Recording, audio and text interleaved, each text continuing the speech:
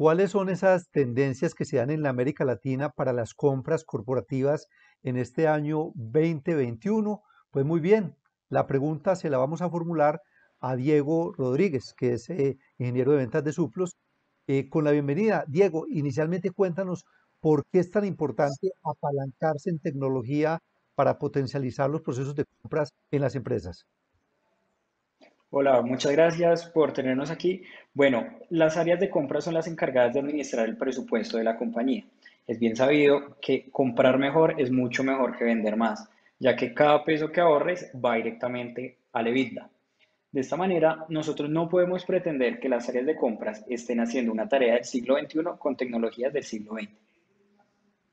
Bueno, hay un tema que es bien interesante y es esas tendencias tecnológicas que se van a ver con mucha fuerza en los próximos meses. ¿Cuáles son las que hay que tener muy en cuenta?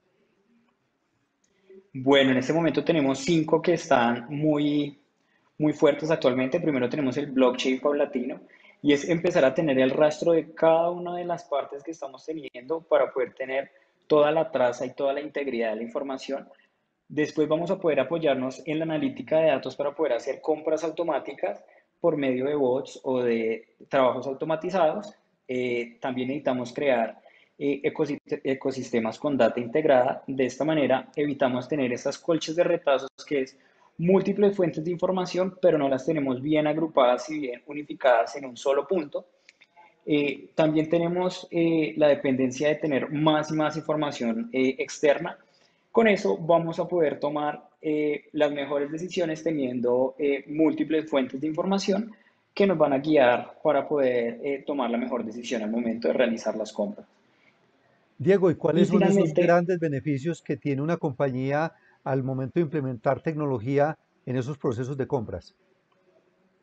Sí, perfecto. Básicamente tenemos tres principales beneficios. El primero es la velocidad de las interacciones, dado que como todo va a estar unificado, ya no vamos a tardar tanto tiempo haciendo todo en, en subprocesos separados, sino vamos a todos a unificarlo en un proceso central.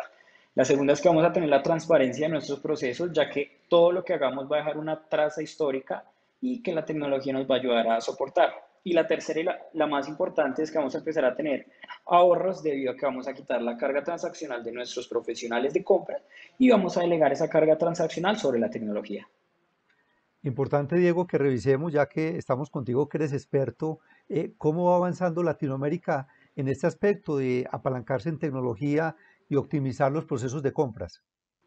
Eh, como Latinoamérica tenemos un rezago histórico eh, a comparación de, de, Norteamérica y de Europa, pero me parece que la, la, pandemia nos hizo darnos cuenta de lo importante que es tener tecnología dentro de, nuestra, dentro de nuestras organizaciones. Acá lo que nosotros queremos hacer es poder unificar el proceso de compras y tesorería en uno solo, dado que es la cadena de abastecimiento y debe ser tratado como tal. De esta manera, estamos buscando tener eh, plataformas de competitividad global, pero que estén ajustadas a la realidad del, del mercado latinoamericano. Muchísimas gracias a Diego Rodríguez por estar aquí con nosotros en el programa.